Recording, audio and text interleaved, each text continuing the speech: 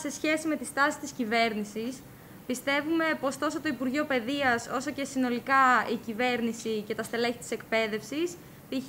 διευθυντές δευτεροβάθμιας, τοπικοί παράγοντες, ε, περιφερειάρχες, δήμαρχοι ορισμένοι και ορισμένοι διευθυντές, ε, κρατούν εχθρική στάση απέναντι στους μαθητές και στα δίκαια αιτήματά τους.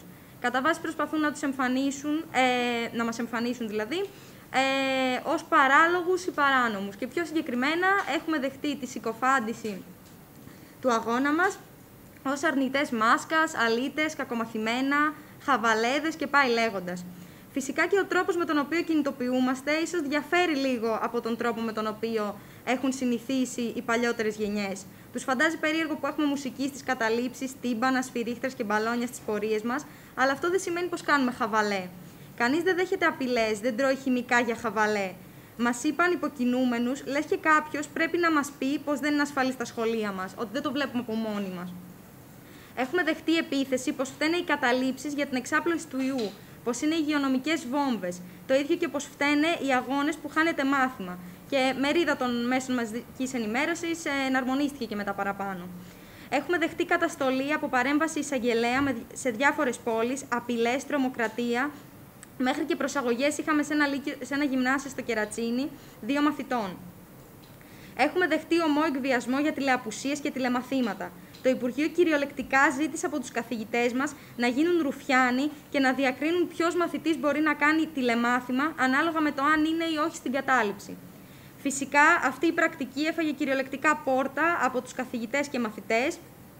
Επί της ουσίας δεν εφαρμόστηκε. Ιδιαίτερα σημαντική είναι η συμβολή των καθηγητών μας που δήλωσαν από την πρώτη στιγμή πως δεν θα γίνουμε ο βούρδουλας και το μακρύ χέρι της κυβέρνησης ενάντια στους αγωνιζόμενους μαθητές. Το αποκορύφωμα όλων ήταν τα γεγονότα την περασμένη Παρασκευή στο Υπουργείο Παιδείας. Μετά από πολλές μέρες καταλήψεων και κινητοποιήσεων, και αφού η κυβέρνηση κυριολεκτικά μας είχε πρίξει πως θέλει να μας ακούσει και θέλει να συζητήσει με τους μαθητές, προχωρήσαμε σε προγραμματισμένη κινητοποίηση έξω από το Υπουργείο Παιδείας. Ήταν η μαζικότερη μαθητική πορεία που έχει γίνει ποτέ έξω από το Υπουργείο. Είχε πάνω από 2.000 μαθητές από δεκάδες σχολεία της Αθήνας και του Πειραιά και να σημειωθεί πως έγινε και χωρίς τεράστιο αριθμό κατηλημένων σχολείων. Εκ μέρους της συντονιστικής είχαμε στείλει email από την προηγούμενη μέρα ζητώντας συνάντηση με την κυρία Νίκη Κεραμέο.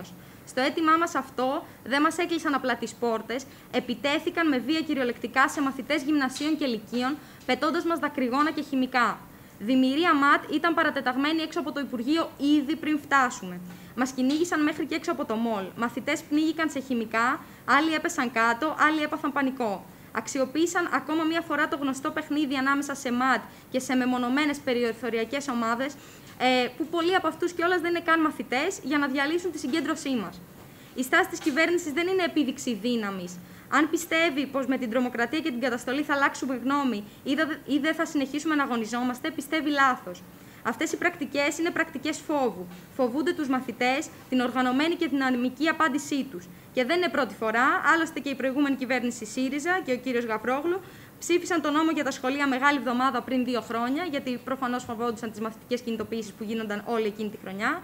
Η κυβέρνηση Νουδού και η κυρία Κεραμέα στην Τράπεζα Θεμάτων μέσα στην καραντίνα, έτσι ώστε πάλι να μην μπορούμε να αντιδράσουμε. Όλοι παραπάνω, ε, όποτε κινητοποιούμαστε για τα προβλήματα της εκπαίδευσης που έχουμε διαχρονικά, μας κουνάν το δάχτυλο.